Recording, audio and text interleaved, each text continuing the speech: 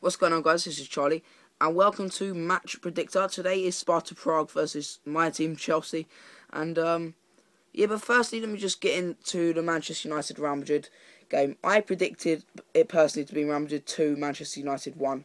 And I said that Man United would dominate first, no, second half, and Real Madrid dominate first half. I got it completely wrong. Man United dominated first half, Real Madrid dominated seconds.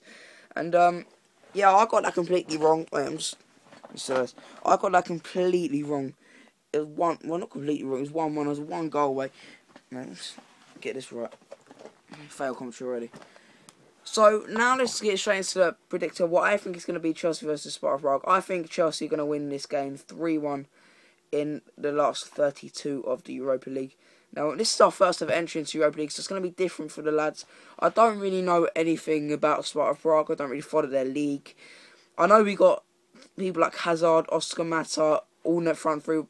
Rafa Benitez will probably start him. If they don't start him, he's he's not the best manager. Just be serious. And um, there's only one bad thing I can think of is Torres starts the front. The only reason Torres starts the front is because Demba Ba's already cup tied for Newcastle in the Europa League.